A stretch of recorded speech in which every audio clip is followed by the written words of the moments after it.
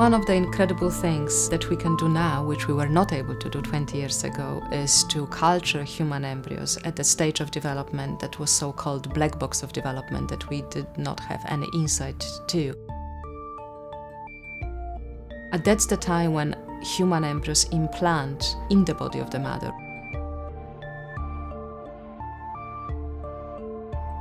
Until recently, we were able to study our own development until the day seven, when the cells decide their fate for the first time and make three different types of cells. But now we can take it for the next seven days and really try to understand how this group of cells that will set up the future body become established for the first time.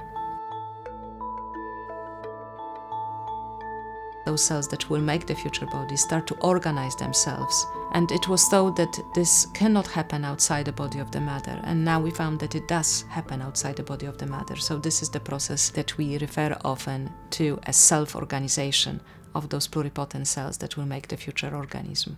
This is the time of development when many pregnancies fail, and now for the first time we can look into what happens at the time.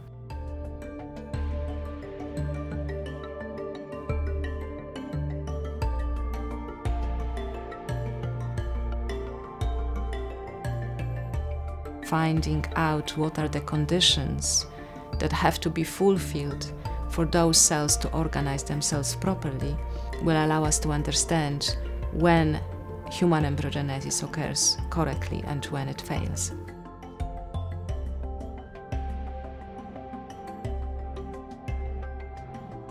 This is really a cause of many developmental defects, which with time hopefully we'll be able to cure. Also, this is the time when stem cells take cell-fate decisions, and we know stem cells are very important for regenerative medicine. So with time, we will be able to shape their path.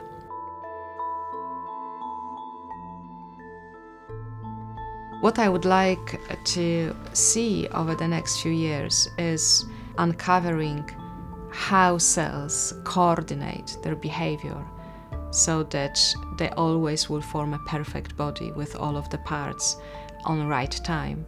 So one of the major questions that has not been yet answered in the field of embryology is how cells within the embryo and embryo measure time. So we have nine months of pregnancy and particular milestone have to be achieved at any particular time point of that pregnancy. How cells know that they have to progress and establish something by one specific time. So that's what the major thing that will be occupying us for the next few years.